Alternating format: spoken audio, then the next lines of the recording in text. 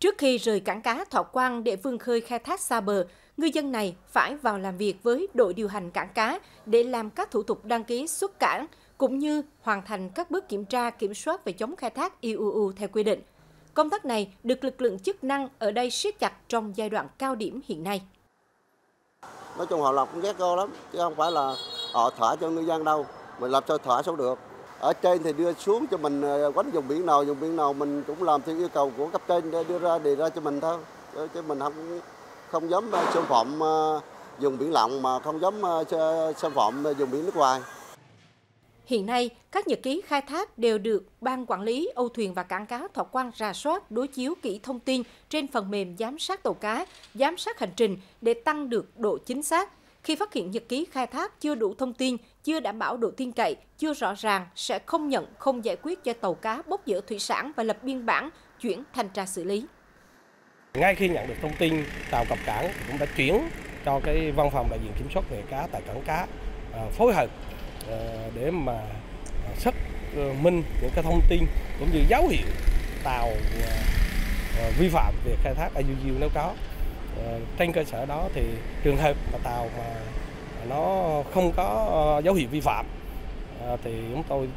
triển khai trong vấn đề bốc dỡ thủy sản lên cảng theo đúng quy định. Mình quánh sang mình khai thác sang là mình ghi vô cái nhật ký. Rồi à, cái lúc mà có sản lượng bao nhiêu có gì tin có gì mình ghi rồi mình nộp nộp cho cảng đầy đủ hết.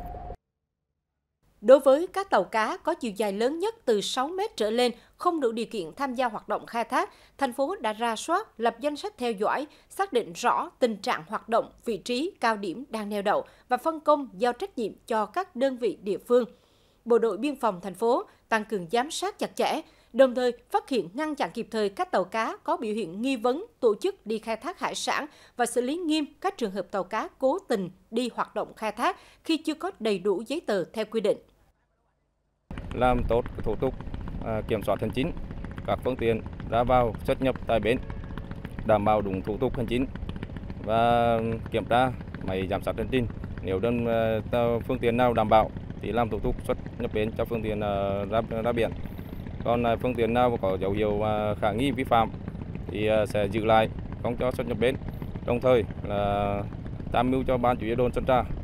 ra quyết định xử lý theo quy định của pháp luật. Kể từ ngày 1 tháng 8 năm 2024, Nghị quyết số 04 của Hội đồng Thẩm phán Tòa án Nhân dân tối cao về hướng dẫn áp dụng một số quy định của Bộ Luật Hình sự về truy cứu trách nhiệm hình sự đối với hành vi liên quan đến khai thác, mua bán, vận chuyển trái phép thủy sản có hiệu lực thi hành. Đây là cơ sở pháp lý quan trọng để Đà Nẵng áp dụng các biện pháp cứng rắn hơn nhằm xử lý triệt để các hành vi vi phạm quy định về chống khai thác IUU. Tăng cường công tác xử lý vi phạm. Đây là cái việc là rất quan trọng. Hiện nay là đã nhiều đã thời gian đã lâu rồi mà những hành vi vi phạm là phải xử lý nghiêm đặc biệt là cái mắc cây nóng à, cái này là phải điều tra xác minh nếu mà cố tình tắt máy để mà thiếu biện tình mà để mà hoạt động phi pháp thì chúng tôi xử lý nghiêm cái, cái việc này. Và một số cái nội dung liên quan tới việc à, vi phạm về cái à, ghi nhật ký khai thác cũng như là vi phạm các về khai khai thác trái tiếng chúng tôi phải nắm từ trước từ xa từ trên bờ và trước khi xuất ra biển là phải nắm được cái việc này để mà sao ngăn chặn kịp thời với việc triển khai quyết liệt các giải pháp này đã góp phần giúp công tác chống khai thác IUU trên địa bàn Đà Nẵng đạt được nhiều chuyển biến tích cực thời gian gần đây. Tính từ tháng 10 năm 2023 đến nay, Chi cục Thủy sản thành phố và Văn phòng đại diện kiểm soát nghề cá đã phát hiện xác minh 404 tàu cá có dấu hiệu vi phạm, trong đó đã lập hồ sơ xử lý vi phạm hành chính, chuyển thanh tra sở ra quyết định xử phạt với tổng số tiền hơn 453 triệu đồng.